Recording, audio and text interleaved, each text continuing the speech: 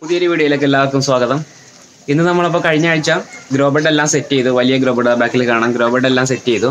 അപ്പോൾ ഇന്ന് നമ്മൾ എന്താ ചെയ്യുക വെച്ചാൽ കുറച്ച് പച്ചക്കറികൾ വാങ്ങിച്ചിട്ടുണ്ട്. അപ്പോൾ അതിന്റെ അതിനെ നമ്മൾ ഇതിനകത്തേക്ക് നടും. പിന്നെ ഇനി കുറച്ച് സീഡ്സ് ഉണ്ട്. അത് നമുക്ക് കിളിപ്പിക്കാൻ വേണം. അപ്പോൾ അന്നത്തെ വീഡിയോയിൽ നമ്മൾ അതൊക്കെയാണ് കവർ ചെയ്യാൻ പോകുന്നത്. എന്തൊക്കെ സീഡ്സ് ആണ്? അതെങ്ങനെയാണ് കിളിപ്പിക്കുന്നത്? പിന്നെ നമ്മൾ ഇതിനകത്തേക്ക് നടാൻ പോകുന്നത് എന്തൊക്കെയാണ്? എന്നൊക്കെയുള്ള നമുക്ക് നോക്കാം. നടാൻ വേണ്ടി നമ്മൾ വാങ്ങിച്ചിട്ടുള്ളത് കുറച്ച് തക്കാളി വാങ്ങിച്ചിട്ടുണ്ട്. ഒരു അഞ്ചാറ് തക്കാളി ഉണ്ട്. പിന്നെ ഒരു നാല് വെണ്ടത്തൈ. വെണ്ടത്തൈ കുറച്ച് ചെറുതാണ് എങ്കിലും നമുക്ക് നടാം. പിന്നെ സീഡ്സ് ആയിട്ടുള്ളത് കുറച്ച് ഹെർബ്സ് ആണ്. ഇത് സെലറി ലെറ്റ്യൂസ് ലെറ്റ്യൂസ് നമ്മളിപ്പോൾ നടുന്നില്ല കാരണം അത് കുറച്ചും കൂടെ തണുപ്പ് നവംബർ ഡിസംബറിൽ ചെയ്യേണ്ടതാണ് പിന്നെ ബേസിൽ തൈം ഇത് rocket leaf then rosemary dill. അങ്ങനെ കുറച്ച് ഹെർബ്സ് ഉണ്ട്. പിന്നെ എനിക്ക് എന്റെ ഒരു ഫ്രണ്ട് ഒരു ഇൻഫോ പാർക്കിൽ വർക്ക് ചെയ്യുന്ന ഒരു സെക്യൂരിറ്റി ഉണ്ട് പുള്ളി ജോർജ് എന്ന് പറഞ്ഞിട്ട്. പുള്ളി എനിക്ക് രക്തശാലി നെല്ലിന്റെ വിത്ത് കൊണ്ട് തന്നു. അപ്പോൾ ഇതും കുറച്ച് പാകണമെന്നുണ്ട്. അപ്പോൾ അത് നമ്മൾ ഈ സീഡിങ് ട്രയിലാണ് പാകുന്നത്. അപ്പോൾ രണ്ട് ട്രേ ഉണ്ട്. ഒരെണ്ണത്തിൽ ചെറിയ ഇതിന്റെയാണ്. മറ്റേത് താഴെ ഇരിക്കുന്നത് വലുതാണ്. അപ്പോൾ വലുതിൽ നമുക്ക് നെല്ലിന്റെത് പാകാം. ബാക്കിയുള്ളത് ഈ ചെറിയതിനകത്തും പാകാം. അപ്പോൾ അതിൽ വേണ്ട പാകാനായിട്ട് നമ്മൾ ഉപയോഗിക്കുന്ന മീഡിയം ഇത് ചകിരിച്ചോറാണ് കൊക്കോപ്പീറ്റ് എന്ന് പറഞ്ഞിട്ടുള്ള. അപ്പോൾ അത് രണ്ട് ഇത് വാങ്ങിച്ചിട്ടുണ്ട്. ഇത് സ്യൂഡോമോണസ് ആണ്. അപ്പോൾ ഇത് വെള്ളത്തിലിട്ട് അത് കുതിർന്ന് കഴിയുമ്പോഴേക്കും നമുക്ക് പൊടിഞ്ഞ് കിട്ടും. അപ്പോൾ അതിനകത്തേക്ക് സ്യൂഡോമോണസും പിന്നെ ഇത് ചാണകപ്പൊടിയാണ് ഉണങ്ങിയ ചാണകം പൊടിച്ചതാണ്. അപ്പോൾ അതും കൂടെ മിക്സ് ചെയ്ത് ഈ ട്രെയിൽ നിറച്ചിട്ടാണ് അതിനകത്തേക്ക് സീഡ്സ് നമ്മൾ നടുക.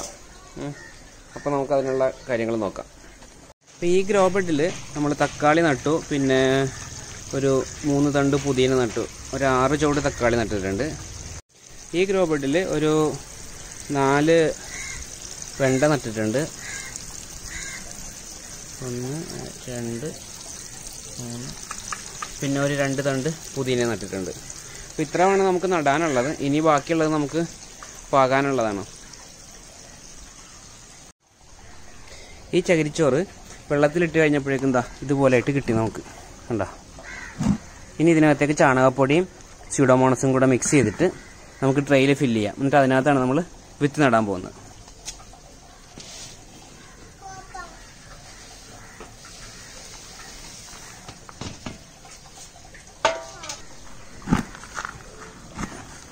ചാണകപ്പൊടിയും കൂടി ഇട്ട് നല്ലതുപോലെ മിക്സ് ചെയ്തിട്ട് കുറച്ച് സ്യൂഡോമോണസും കൂടെ നമുക്ക് ഇട്ട് കൊടുക്കുക അതിനകത്തേക്ക്.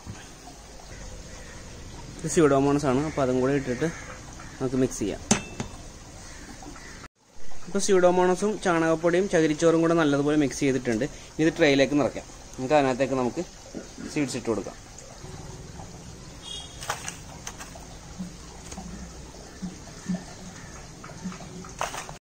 നമ്മൾ രണ്ട് ട്രെയിലും നമ്മുടെ നടാനുള്ള മീഡിയം ഫില്ല് ചെയ്തിട്ടുണ്ട്. ഇനി ഇതിനകത്തേക്ക് വിത്തുകൾ നടണം. അപ്പോൾ പക്ഷേ വിത്തുകൾ നടാനായിട്ട് അതിന് കുറച്ച് വെള്ളം ഒഴിച്ചിട്ട് ഇന്ന് രാത്രി ഇതിങ്ങനെ വെക്കുകയാണ്. അതുപോലെ വിത്തുകളെല്ലാം ഒന്ന് വെള്ളത്തിലിട്ട് വെക്കണം. എന്നിട്ട് നാളെ രാവിലെ നമുക്ക് ഇതിനകത്തേക്ക് വിത്തുകളൊക്കെ നടാം.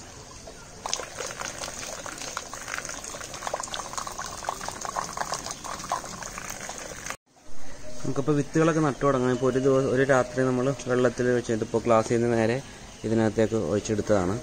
അപ്പോൾ ഇതിന് ഈ വലിയ ട്രെയിൽ നമുക്ക് നട്ടു തുടങ്ങാം.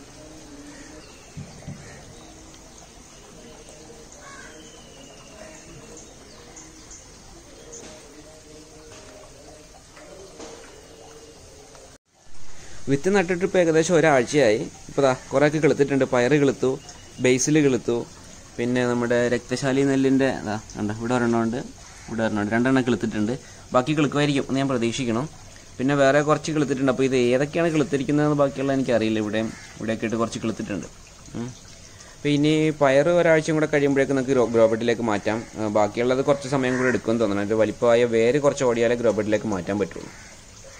ഓക്കെ പിന്നെ നമ്മൾ കഴിഞ്ഞ ദിവസം നട്ട തക്കാളി കഴിഞ്ഞ ആഴ്ച നട്ട തക്കാളി. അതൊക്കെ ഇപ്പോൾ അത്യാവശ്യം നല്ല ഇതിൽ പിടിക്കുന്നുണ്ട്. പിന്നെ വെണ്ട അന്ന് നട്ടിരുന്നതിൽ നാലെണ്ണം നട്ടത് രണ്ടെണ്ണം ഉണങ്ങിപ്പോയി. അത് തീരെ ചെറുതായിരുന്നു. അപ്പോൾ എനിക്കെന്തോ അതിന്റെ പേരിനെന്തോ പ്രശ്നം ഉണ്ടായിട്ട് അത് ഉണങ്ങിപ്പോയി. അതിനുശേഷം ഞാൻ പിന്നെ ഇഞ്ചിയും കരിമഞ്ഞളും ഇവിടെ നട്ടു. പക്ഷേ കരിമഞ്ഞൾ വർക്കൗട്ട് ആയിട്ടില്ല അത് ഉണങ്ങുകയാണ് ഉണ്ടായി ഒരെണ്ണം ഏകദേശം ഉണങ്ങി അടുത്തതും ഉണങ്ങിക്കൊണ്ടിരിക്കുകയാണ്. പക്ഷേ ഇഞ്ചി പിടിക്കുന്നുണ്ട്. ഇതിപ്പോൾ നടുമ്പോഴേക്കും കഴിഞ്ഞ ആഴ്ച നടുമ്പോഴേക്കും ചെറിയൊരു കൂമ്പായിരുന്നു. അതിപ്പോൾ ഇത്രയും വലുതായി. ഇഞ്ചിക്ക് വലിയ കുഴപ്പമില്ല പക്ഷേ മഞ്ഞൾ വർക്കൗട്ട് ആയിട്ടില്ല. മഞ്ഞൾ എന്ന് വെച്ചാൽ കരിമഞ്ഞളാണ് സാധാരണ മഞ്ഞളല്ല. ഓക്കെ അപ്പോൾ ഇത്രയൊക്കെയാണ് വിത്ത് കിളിപ്പിക്കലുമായിട്ട് ഉള്ള കാര്യങ്ങൾ നമുക്കിനി അടുത്ത വീഡിയോയിൽ വീണ്ടും കാണാം. അതുവരെ ബൈ.